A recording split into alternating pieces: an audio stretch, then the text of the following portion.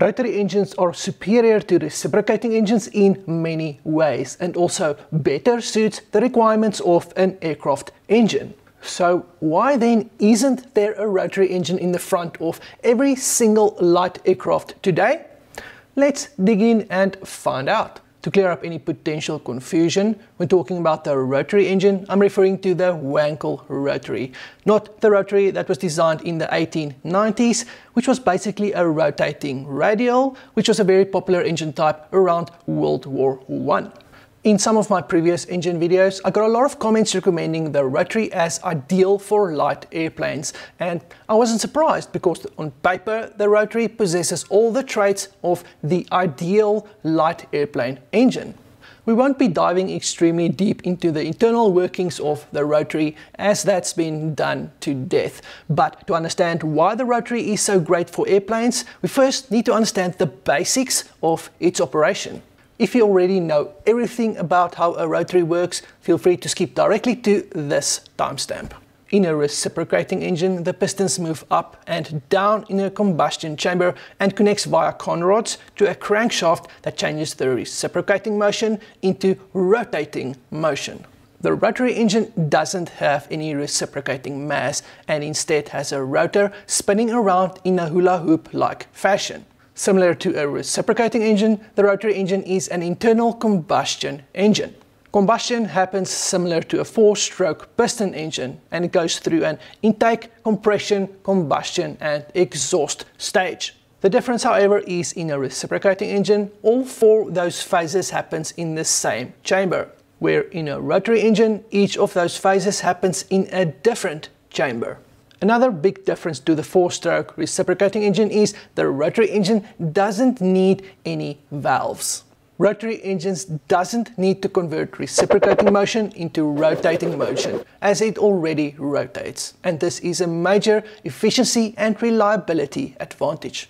And it doesn't need conrods which results in fewer moving parts and all the advantages that comes with that.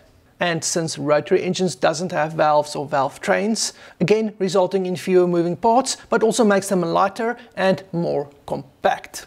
This results in better power to weight ratio than reciprocating engines, but also takes up less overall space. Fewer moving parts also results in a less complex engine that makes them cheaper to produce.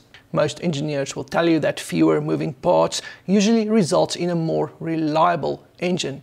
And We'll get to that in a minute, but fewer moving parts means there are fewer parts that need to be lubricated, balanced, and fewer parts that will eventually fail. In a reciprocating engine, the moving parts are masses that has to accelerate, decelerate, stop, change direction, accelerate, decelerate, stop, and change direction thousands of times per minute, and this puts massive amounts of strain on the components rotary engines rotate, so it doesn't have that problem and can spin much faster with much less strain on the components. Another advantage of the rotary engine compared to the reciprocating engine is it has almost no vibration. The vibration caused by the moving parts of the engine is called primary balance. While the rotor does have a slight up and down movement as it spins, most rotary engines have two rotors, sometimes even more. This means the spinning rotors can be used to balance each other out and as a result the rotary has great primary balance. As for secondary balance, since rotary engines doesn't have any pistons and thus no conrods, they natively don't have any secondary imbalance issues. Rotary engines has another advantage in my opinion for aviation use which some might consider a disadvantage.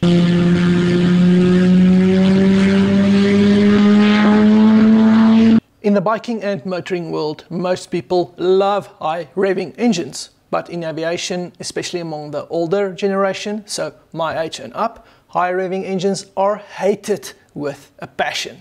This obviously comes from legacy aviation engines which are low revving. And by low revving, I'm talking about a max RPM of around 2700.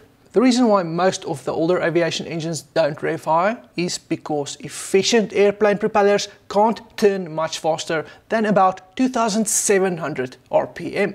Now, I don't think we should by default fear higher revving engines in aviation at all. But when it comes to the rotary, it's a different story. And I need you to put it out of your mind that high RPM is a bad thing. Because when it comes to the rotary, it really, really is not. The second thing that I will probably be told repeatedly in the comments is that rotary engines don't put out a lot of torque and how important torque is. No, rotary engines don't deliver a lot of torque compared to reciprocating engines, mainly due to its inherent design and the eccentric shaft. But rotary engines are high revving and will require a reduction drive to reduce propeller speed to less than a maximum of 2700 RPM. That introduces some notable advantages, the most important of which is the increased torque due to the very high gear ratio. I'm not getting into the details of propeller speed reduction units again.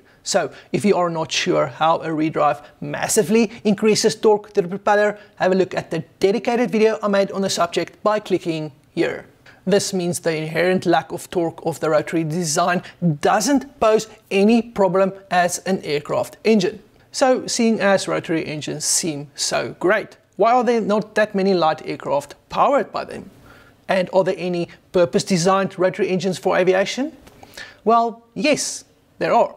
One popular example is the Midwest twin rotor AE100 and AE110 producing 100 and 110 horsepower respectively at 7800 RPM from a displacement of only 588 cc.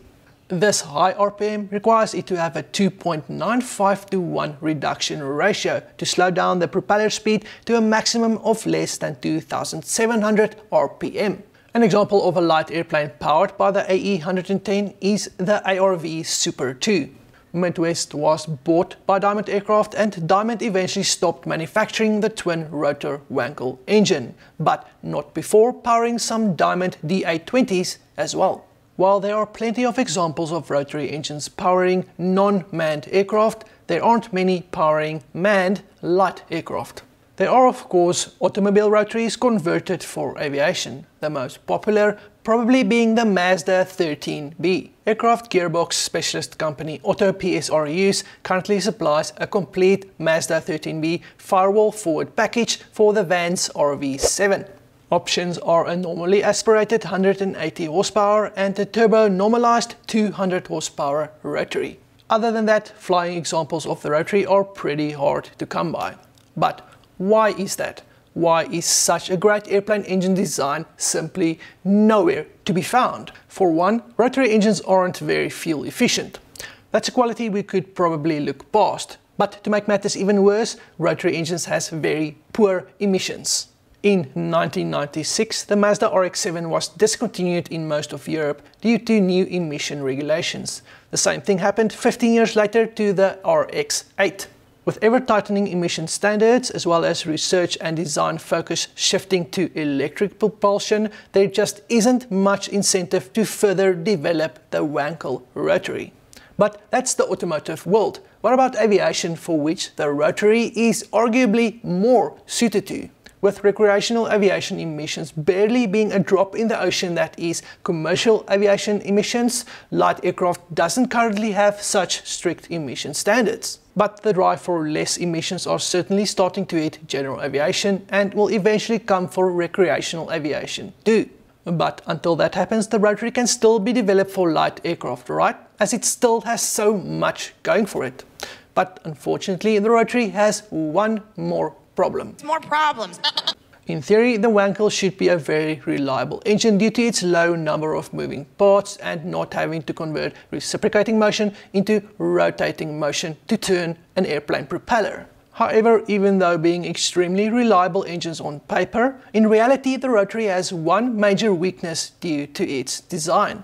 One part that are prone to failure are the rotor tips, also known as apex seals, which are constantly under huge amounts of stress.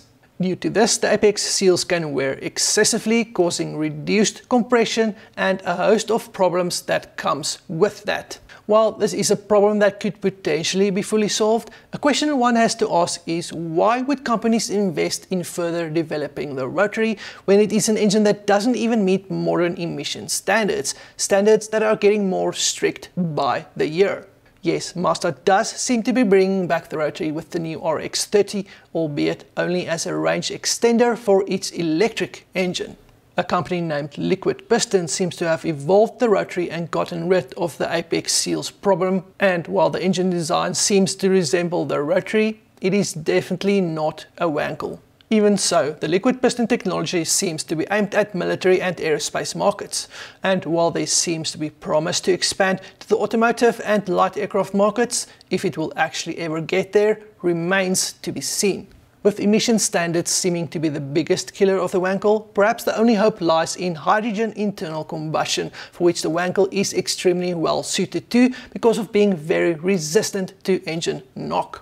However, with the battle between hydrogen and electric seemingly being won by electric, and even within hydrogen, the battle between hydrogen electric and hydrogen combustion, it seems that hydrogen electric is where most development funds are currently going to. So I'm not sure that there is any hope that the Wankel will be powering light aircraft by the masses in the future.